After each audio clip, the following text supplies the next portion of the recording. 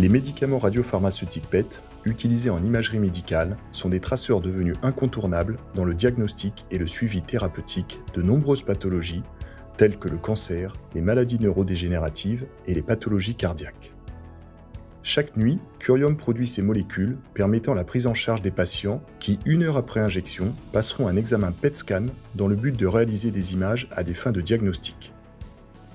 Très tôt dans la nuit, les équipes de Curium sont mobilisées pour une course contre la montre. En effet, les radiopharmaceutiques PET sont composés d'une molécule associée au fluor 18 avec une demi-vie de 2 heures.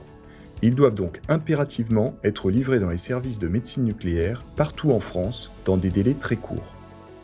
La force de Curium, c'est un réseau de 12 sites de production de traceurs PET qui garantit un maillage optimal du territoire français. La fabrication au quotidien de ces médicaments répond aux besoins croissants de la médecine nucléaire et améliore ainsi la rapidité de prise en charge des patients. Le réseau PET de Curium, c'est aussi une équipe de 200 collaborateurs dédiés avec une mission quotidienne, produire et livrer ces médicaments dans les hôpitaux et cliniques de France selon les standards réglementaires de qualité les plus élevés. Curium investit de manière constante sur son réseau, aussi bien dans la modernisation de ses sites de production et la formation de ses collaborateurs, que dans le renouvellement des équipements afin d'assurer la montée en puissance de ses capacités de production pour servir la demande croissante de traceurs PET et répondre aux défis de l'imagerie moléculaire. La production répond à de hautes exigences de qualité pharmaceutique dans un strict respect des normes de radioprotection. Chaque site Curium possède un cyclotron performant permettant de disposer des quantités nécessaires de fluor 18.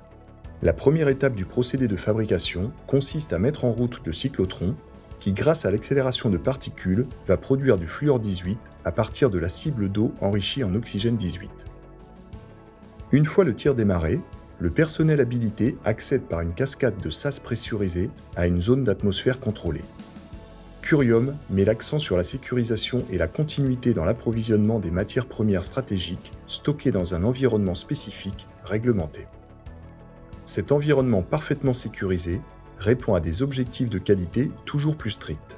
Dans ce laboratoire de production, le technicien prépare les automates de synthèse qui vont associer le fluor 18 en provenance du cyclotron à un des 10 traceurs spécifiques à une indication clinique. Le produit ainsi obtenu est alors transféré dans une enceinte stérile pour être réparti en flacons contenant le médicament injectable.